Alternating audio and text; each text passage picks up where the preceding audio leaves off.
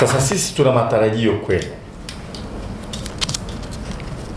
na hatutashusha matarajio, hata kama tunajua mahitaji yenu hatutayakidhi yote ya kusimamia ubora wa taasisi.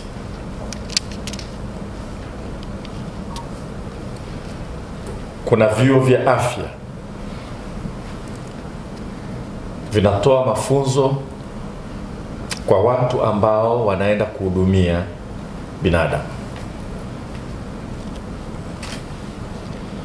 Akifanya makosa, madhara yake yanaweza kawa ni uhai wa binadamu, navyo mnavisimamia. Mnasimamia vyuo mbalimbali ambavyo taifa linatarajia vitatusaidia kuandaa vijana kuajirika na kuweza kujiajiri ili kupunguza changamoto ya ukosefu wa ajira ambalo ni tatizo kubwa sana Afrika nzima ikiwa ni pamoja na Tanzania. Tuhakikishe kwamba ubora wa kile kinachofundishwa kweli kinawaandaa vijana. Hilo liko kweli kwa vyuo vyote vilivyoko nchini, sekta binafsi na vya umma. Kwa hiyo matarajio yetu kwenu ni makubwa na hatutalegeza, hatutayashusha. Ninachowaomba mjitahidi tu mfanye kwa kadri mnavyoweza kusaidia ili swala la ufundi, ufundi stadi, mafunzo stadi, vyuo vyetu hivi kweli viweze kuwajenga vijana ili waweze kuajirika. Tukianza na vyuo vya afya, vyote vya umma na binafsi, tumezungumza pamoja na mtendaji mkuu na management. Kazi ya kusimamia ubora itafanywa pamoja na chini ya uongozi wa Wizara ya Afya. Hatutokubali kwa namna yeyote kulegeza usimamizi kwenye vyuo ambavyo vinaandaa wataalamu wa kwenda kuangalia afya za watu. Kwa hiyo Wizara ya Afya itaendelea kuwa kiongozi wetu kwenye nini kinahitajika katika vyuo hivyo. Kwa hiyo tutafanya kwa pamoja na chini ya uongozi wa Wizara ya Afya. Tunadahili wanafunzi wengi, hiyo ni mpaka vyuo vikuu kufundisha udaktari. Wengi wanamaliza hawana kazi. Idadi ya udahili wetu, na hili si la kwenu, ni kubwa zaidi, lazima ilingane na uwezo wetu wa kuwafundisha. Idadi ya wataalamu wanaofundisha wanafunzi wa udaktari ni wangapi? Wanapata fursa kiasi gani kufanya mafunzo kwa vitendo? Wanaweza wakasimamiwa kiasi gani? Na hilo tunalianzia juu. Tutaongea na wakuu wa vyuo vyote ambavyo vinatoa madaktari na tutarudi chini kwa vyuo vidogo, na hatutaki kama tutaongeza usimamizi na kama tutajadili idadi ya tunaowadahili, hatutaki ipelekee vyuo hivi vikose rasilimali ya kufundisha, kwa sababu sasa hivi tumepitia haraka haraka na tumezungumza na baadhi ya viongozi. Na nimejaribu kuangalia uwezekano wa sisi kuchukua watu kwenda kusomea udaktari nje. Nchi zote makini, mafunzo ya udaktari yanasimamiwa kwa makini zaidi, na kwa hiyo hata vyuo vya afya vitasimamiwa kwa makini zaidi na vyuo vya umma na vyuo binafsi, lakini hata vyuo vingine hivi tunahitaji kuendelea kufanya kazi ya kujua ni kiasi gani yale mafunzo tunayatoa yanamsaidia mtu aliyopo. Ndio maana mkurugenzi, tulikubaliana tufanye tracer studies, na kwa upande wa VETA najua wamekuwa wakifanya, na singependa anayetoa mafunzo yeye mwenyewe ajitathmini. Sasa taasisi hii kwa kushirikiana na mkurugenzi wizarani tulikubaliana iandae utaratibu wa kufanya tracer study, na ni rahisi. Siku hizi tuna namba za simu, kila mhitimu anaacha namba ya simu. Ni rahisi sana kumtafuta, yuko wapi, miaka mitatu baada ya kusoma, anafanya kazi wapi, elimu aliyotumia anaona inamsaidia nini, kama amefundishwa katika chuo kinachotoa elimu ya ukarimu, na upande wa VETA kiko kimoja pale Dodoma, pamoja na kwamba huduma yake ya ukarimu pale ovyo kabisa. E, chuo cha VETA Dodoma kinatoa elimu ya ukarimu na ni kati ya huduma mbovu kabisa zinazotolewa. E, ukienda pale si hoteli iko pale karibu na CBE na kingine kiko Arusha, kwa lazima tuende tukaangalia wanaosoma pale, kwa sababu tunachukua na fedha za wazazi, tunawafundisha. Wazazi wanaamini tunawaandaa vizuri, wanaamini tunawaandaa na wana wanajitolea kwelikweli kweli kutoa fedha. Tunataka tujue wakitoka pale kweli wanagombaniwa, wanapata ajira, au watu wanaona bora uchukue mtu yoyote tu, lakini aliyesoma kwenye vyuo hivi vya VETA na hivi vingine hawezi kutusaidia chochote. Kwa hiyo tuna kazi kubwa hiyo ya kufanya utafiti, kuangalia wale wahitimu wako wapi, wanafanya nini, na baadaye kama wameajiriwa tuende kwa waliowaajiri tuwaulize, mnaridhika vipi na jinsi tulivyoleta mafunzo kwa hawa? Tunatarajia samani hizi tunazotumia sasa hivi, shughuli za useremala na vyuo vyetu vinafundisha. VETA ya Dodoma nayo inafundisha useremala. Tunataka tukienda maeneo yanakuzalisha bidhaa hizi samani furniture, tuone kweli wale tuliowaandaa.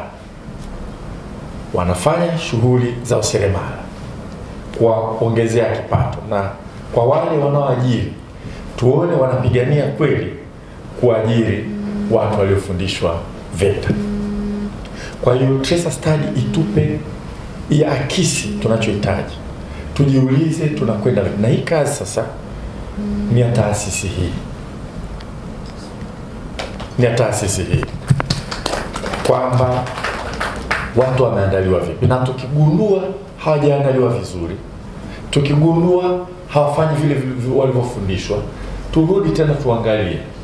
Tufanye nini ili kuhakikisha kwamba tunachokifundisha kweli kinakuwa na, na manufaa. Mafundi magari tuna gereji chungu mzima na gereji bubu na gereji zilizosajiliwa. Tuone waliofundishwa katika zile taasisi vyuo ambavyo nafundisha ufundi magari ni wangapi, wanapotoka pale wanaenda kufanya shughuli hizo za ufundi magari. Tuwaulize wao au wameanzisha gereji zao wenyewe au wameajiriwa, alafu tuwaulize wenye gereji hawa waliotoka kwenye vyuo vyetu hivi vyote binafsi na vya serikali, ni vipi mnaona uwezo wao? Je, unaona kwamba ni mtu ambaye ukitaka kumwajiri utamwajiri? Nalisema hili kwa sababu nilipata nilitumikia, nilihudumu kama katibu mkuu wa Wizara ya Maliasili na Utalii, na tulikuwa na chuo chetu cha utalii, ile program iliyosema ILO. Nakumbuka mkuu wa chuo hapa alienda Switzerland wakati ule, na tulicoordinate kwenda kwa ajili, nadhani ndio hiyo program ambayo tulikuwa tunazungumzia kwenda kutengeneza mfumo ambao utaongeza kufanya mafunzo tunatoa yawe ni hasa mahitaji ya wale wanataka kuajiri vijana wetu. Sasa nilienda kwenye hoteli moja Ruaha, nzuri kweli kweli, na huduma ya pale perfect, nzuri sana. Ni hoteli ambayo yenyewe inafanyiwa booking, yani kupata booking pale sio rahisi. Wahudumu wa pale nikauliza mwenye, mwenye hoteli, vipi hao mnawafundisha? Saa sisi tunawafundisha sisi wenyewe na tunatumia certification ya South Africa na tuna vigezo kwamba wakati unapofundisha umfundishe nini, umtreni vipi, uende vipi mpaka ajiriwe. Na wakati huo niliwaambia chuo chetu cha utalii hapa na kina campus, kina campus ya Arusha kwamba kaeni na hawa wadau ili tuhakikishe kwamba kile wanachokihitaji kweli mpaka wanafanya mafunzo wao wenyewe, basi tunakifanya hivyo kwenye vyuo vyetu. Kwa suala la ubora ni muhimu sana, na watu wanaposema elimu yetu wana question, wakati mwingine wanasema vijana wetu hawaajiriki. Of course ajira lazima izalishwe na uchumi. Kwa hiyo spidi ya uchumi kuzalisha ajira inaweza ikawa ndogo kiasi kwamba watu wasipate ajira, na hiyo iko kwa Afrika nzima. Lakini tunapochukua fedha za mzazi, tunamwambia tunaenda kumfundisha mwanao useremala, lazima tujiulize, akitoka pale tumemwandaa kweli kweli, amekuwa seremala kweli kweli, anaenda kuanza kazi ya useremala yeye mwenyewe kwa kujiajiri au kwenda kuajiriwa kwa ajili ya shughuli za useremala? Na je, wajenzi wote hao wanapofanya kazi za ujenzi wanatafuta mtu na kusema tutafute mtu mwenye cheti katika vyuo vyetu hivi tunavyosimamia, au wanatafuta tu mtu mwenye uzoefu? Kama hatufanyi hivyo, tunapochukua ada ya wazazi, lazima tujiulize inatusaidia vipi? Tunawasaidia vipi wazazi? Kwa hiyo madhari sasa, jukumu la urekebu limekuja kwenu, limetoka VETA kuondoa conflict of interest, kwamba VETA wanaendesha mafunzo alafu wenyewe ndio wanajisimamia. Sasa usimamizi huu urekebu regulation imetoka VETA imekuja NACTVET. Sasa nyinyi mnawasimamia VETA na wengine wote, na sisi tutahakikisha SDL tunawamegea mkae nayo, lakini mkishamegewa, tuna matarajio kweli mtasimamia ubora, mtaregulate kuhakikisha kwamba kweli tunawapeleka hawa watu kwa namna ambayo wanafanikiwa. Ni kazi ngumu, kwa sababu vyuo vyetu ni vingi, wataalamu wakufunzi ni wachache, na presha ya kuongeza vyuo ni kubwa kuliko presha ya kuongeza na kufundisha wakufunzi kwa kila mtu sasa hivi ukizungumza naye anataka VETA kwenye eneo lake, kila mbunge anataka VETA kwenye eneo lake, kwa sababu anajua VETA ni kitu muhimu na wanataka vyuo hivi hata vya watu binafsi. Lakini spidi yetu ya kupata wakufunzi si kubwa kama spidi ya ujenzi. Sasa hivi tunajenga vyuo vya VETA 29 vinne kwa mikoa, mkoa wa Simiyu, Geita, Njombe na Rukwa na vingine 25 kila wilaya. Jambo zuri sana, vitakamilika. Sasa spidi ya ujenzi huo inabidi iende na kasi ya kupata wakufunzi wa kutosha kwenda kufanya kazi. Kwa hilo kubwa la Tracer Star, hasa mkurugenzi, baada ya mabadiliko haya, wewe unafanya kazi na taasisi hii, lakini taomba nione questionnaire, nikae na wataalamu nione kama wanajua kufanya sample kweli na wako serious na report ya Tracer Studies, tukae tujadili, tujiulize ili tuendelee kuboresha maana tusipopata feedback, tusipopata mrejesho kutoka kwenye uchuu kwa wale ambao tumewafundisha, basi tutakuwa tu tuna wanasema, usipo, usipojua unakoenda njia yoyote itakufikisha tu, vipi? Okay, haikufikishi popote kwa sababu hujui hata unaenda wapi. Sasa tusipojua tunalenga nini kwa hawa vijana tunawafundisha, basi chochote tutakachofanya tutasema na cheti hicho nenda, lakini sidhani kama ndio lengo letu hilo, na ili tufike huko kwa vyuo vyetu vyote vya ufundi kwa levo zote na vyuo vikuu tunataka kuongeza spidi ya kujenga exchange program. Kati ya vyuo vyetu na vyuo vya nje. Tunataka tuone wakufunzi wetu wanapata fursa ya kwenda kuangalia nje watu wanafanya nini, na tunataka kualika wakufunzi kutoka nje. Nimeongea na balozi wa Canada, nimemwomba na nadhani tutafanikiwa. Canadians wenye vyuo vyao kule waje kwenye vyuo vyetu wakae wasaidie kufundisha, alafu na wenyewe watuambie, ah, mbona hapa mwendi hivi. Lakini tunataka wakufunzi wetu wapate fursa ya kwenda, kwa sababu tujue dunia inaenda vipi na kwa kasi ipi, na sisi tuende hivyo. Baadhi ya hizi hivi vyuo tukifundisha vizuri, hatuwezi kusema tu uchumi wa Tanzania hujazalisha ajira, kwa sababu kuna uchumi wa Kongo, uchumi wa Zambia, uchumi wa Malawi, uchumi wa Kenya South Sudan, kote huko watu wetu tukiwafundisha vizuri wanataka kufanya kazi huko, au vipi jamani? Leo tunasikia South Africa wanafundisha Kiswahili, wanaenda kufundisha Kiswahili, wanatoka wapi? Kwa nini? Kwa nini? Kwa nini? Kwa nini? Kiswahili kinazungumzwa Murwa hapa kwetu. Kwa nini? Kwa sisi tuna jukumu la kuandaa watu wetu. Kote huko, pamoja na vyuo vyetu vya ualimu.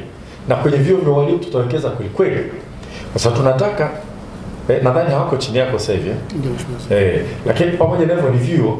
Tunataka tukifundisha walimu kwenye vyuo vyetu vya serikali 35 kama ni wa kufundisha Kiswahili au tayari kufundisha hapa au tayari kufundisha South Africa au tayari kufundisha Rwanda wanakofundisha Kiswahili elsewhere. Otherwise kweli hatutakuwa tunatoa elimu at an international standard, na hiyo ndio nguvu kubwa ambayo tunaifanya na na, na, na, na, na fedha zimetengwa kwa ajili hiyo, na Mheshimiwa Rais kawekeza hela zaidi kwenye ujenzi na kadhalika, na sisi tutawekeza hivyo. Kwa hiyo kifundishwa kama ni mwalimu wa kufundisha lugha Kiingereza na Kiswahili lazima amudu Kiingereza vizuri, aweze kwenda South Africa akiongea Kiingereza safi na Kiswahili akimudu vizuri, akienda kule aende akafundisha, La sivyo kweli hatufanyi chochote kama hatujawaandaa hao kuwa at an international competitive level, ina maana hawezi kwenda kufundisha vijana wetu at an international competitive level. Vyuo binafsi tutavilea,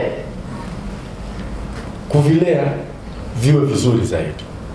Kwa kulea maanake ni kusaidiana nao kujenga. Kwa hiyo hata katika shughuli za urekebe tuwe na flexibility mahali ambapo tunaweza kuwa na flexibility, na tumezungumza kwa mfano ile intake ya mwezi Machi ambayo mwanzoni ilikuwa imesimamishwa kwa vyuo ambavyo sio vya afya, na mkiona vina walimu wa kutosha, kwa sababu ukichukua wanafunzi mwezi wa kumi alafu mwezi Machi ukachukua wanafunzi wengine, unakuwa na programu mbili zinaendeshwa kwa kipindi hicho hicho.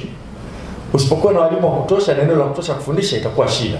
Kwa mtu ambaye hana vya kutosha. Hapana, lakini kama ana ana- ana- anatosha, anaenea, ruksa Kwanzia leo naomba wasikie hao sekta binafsi wenye vyuo vyao.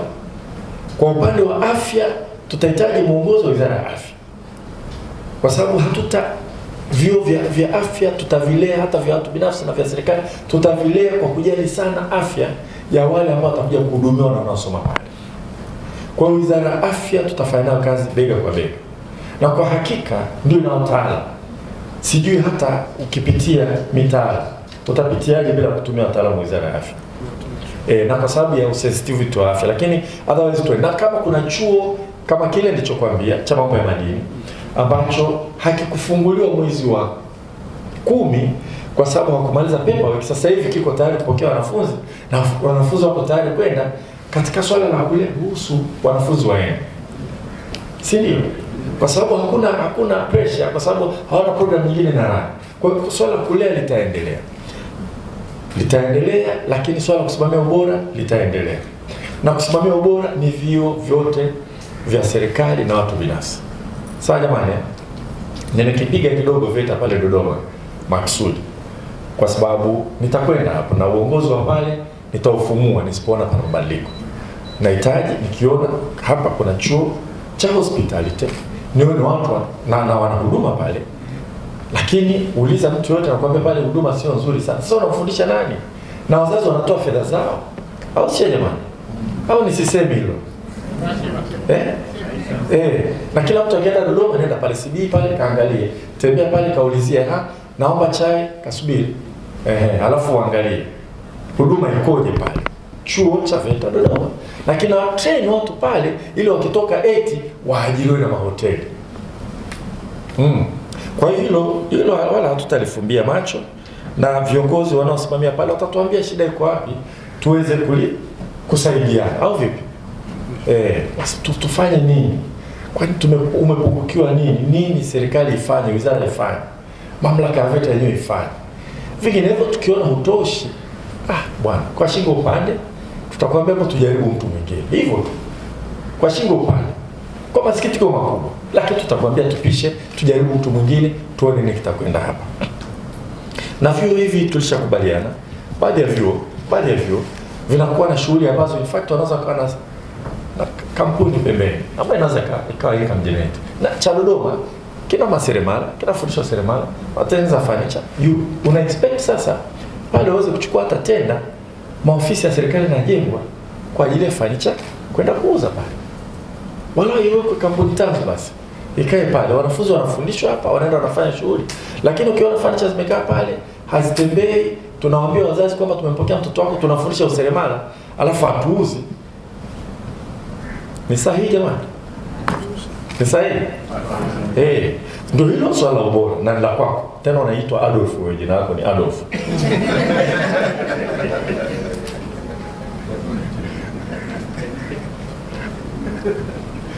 Kwa hiyo sio kwamba nataka kutisha kwa kweli, lakini nataka nataka kusisitiza na natumia mfano wa Dodoma kwa sababu nimepafaa vizuri zaidi e, pengine na sehemu nyingine. Tunataka tuone tukichukua ada ya wazazi tunampeleka mtoto kule, tuhakikishe kwamba mama anakwenda. Kwa ujumla, mfumo wetu lazima tufanye kazi ya ubora, kusimamia ubora maeneo yote, hata vyo vikuu. Shamba utapata mkutano na ma vice chancellors na ma principals kwanza wa public universities na baadaye university zote, tuangalie nini cha kufanya. Kwa wala sizungumzii tu level yako hii eh, tuangalie nini serikali ifanye, turahisishe. Tunataka kwa mfano vyuo vikuu maprofesa wajengewe flexibility, waweze kuleta resource na research funds, tusiwabane maana siku hizi watu wakipewa uongozi ah, basi wanadhani wenyewe ni watawala tu eh. Profesa tunataka hakika pale ni mwanasayansi anafanya research, analeta research fund, ukimbana ukimstifle ha- anaacha wengine, najua wameondoka chini. Yaani wewe ukikaa pale juu, wewe unaona kama ah, yule ana pesa nyingi, kwa nini anapata hela? Si anafanya research zinakuja, yule ndio wa kumdaka na kumlea na kumfurahia. Kwa hivyo viku, kuna mambo chungu mzima tutazungumza kwa, lakini kwa ujumla wake tunapitia tunakaribia, tutamaliza tu mapitio ya sera ya elimu ya 2014 na tulikuwa wote katika mazungumzo haya. Tunaangalia sheria ya elimu ya mwaka 78 tunapitia mitaala na kwenu nyie mitaala tutaipitia vizuri kwa tracer study, kwa sababu sio mambo ya kinadharia, au sio? Sio mambo ya kinadharia, ni mambo ya kuangalia huyu tunaye tuliyomwacha hapa akaenda kule, ni mafanikio yake yakoje, ni kitu gani kilimsaidia zaidi kabisa kabisa. Kwenye levo hii mitaala itapitiwa kwa kuwafundisha. Kama umefundishwa kushona, anajua kushona vizuri, suti hizi nyingine tu zimetoka nje, lakini kununua vitambaa na kushona, tukiwaandaa watu wetu vizuri, tutaanza kuona suti nyingi hapa hapa nchini. Tulivyowafundisha wameenda kule, nini kimwasumbua? Anaweza kuambia labda shida ni mtaji, basi tufikirie tunafanyaje au ameajiriwa jamaa anakuambia bwana kweli amekuja hapa lakini nidhamu hamna. Tujue na attitude tunawafundisha tunawaandaa vipi, wanaita soft skills za kufanya kazi na kadhalika. Kwa ujumla wake tutaangalia idadi ya walimu, wakufunzi, wahadhiri, kwa sababu ni issue. Wakati mwingine maki nimeongea na, na shule binafsi nyingine wananiambia ah, sisi wala mtaala wako wala sio shida kihivyo. Of course tunajua maeneo ambayo mtaala lazima tufanye uwe relevant watu na maeneo na kadhalika. Unamwambia sisi tunachohitaji ni mwalimu, tuchukue mwalimu kutoka nje. Mmoja kaniambia bwana, natafuta tunaomba tu kibali cha kuleta mwalimu kutoka Kenya na Ghana kufundisha mtaala wa Tanzania kabisa, hiyo kabisa kabisa. Na wengine wanakuambia ah, mimi sisi tunafundisha mtaala wa Tanzania, wanaanza form 6 hapa, wanaenda nje, wanafanya vizuri vyuo vikuu. Sasa ukienda kwenye public schools, idadi ya, ya, ya, ya wanafunzi kwa mwalimu mmoja ni swala na namna kutatua ziko namna tatu. Moja, kuajiri; pili, kuhakikisha kwamba tunagawa walimu vizuri zaidi katika maeneo. Tatu, tuzidi kujipanga kutumia tehama vizuri, na tukitumia tehama mara nyingi zitatumika zaidi mjini, pengine tuanze kupunguza walimu mjini, tupeleke vijijini. Shule moja nilikuwa naangalia takwimu, nadhani Kasulu mwalimu mmoja anafundisha wanafunzi mia na nne nadhani, Kasulu nadhani Kasulu, alafu Arusha jiji mwalimu mmoja anafundisha wanafunzi 48 na ukiangalia Arusha perform vizuri zaidi. Uyui Tabora mwalimu mmoja anafundisha wanafunzi zaidi ya 78. Kwa kuna swala la distribution ya walimu, kuna swala la ajira, distribution ya walimu na swala la kutumia teknolojia kusonga mbele ambayo tutatumia.